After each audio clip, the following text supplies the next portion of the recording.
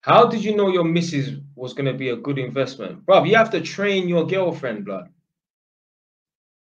You have to train your missus, man. Like, like, fam, the girl's not going to uh cook for you or clean your house and that just because.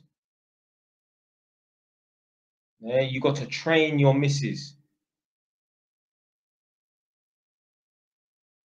Like, my girlfriend cleans my house every other day.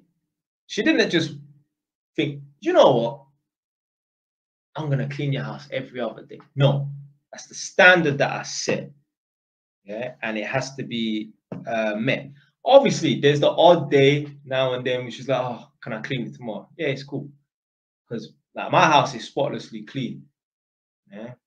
So the reason why my house is spotlessly clean, this, this if if any of you don't want to know the secret to keeping a house spotlessly clean, you clean it when it doesn't need cleaning.